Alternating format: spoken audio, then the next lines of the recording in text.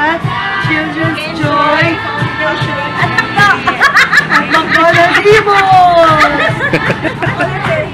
Ay, Lola! Lola! Lola! Away, away. Marami na ba? Thank you, Tita Day, for helping! Salamat! Hahaha.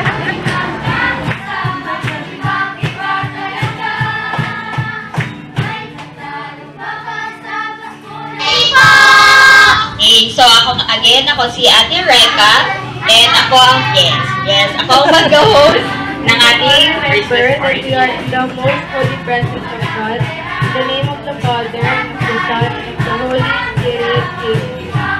Heavenly Father, Pero, umayan ka lang. Pero sa tulong ng ating mga kapamilya at mga kaibigan, kami ay nandito para bumati sa inyo ng. Pero,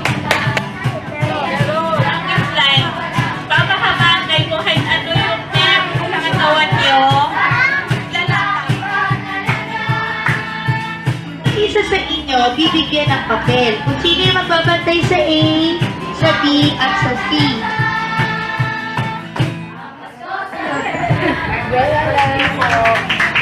Merry Christmas inyo. Masaya? Maraming salamat.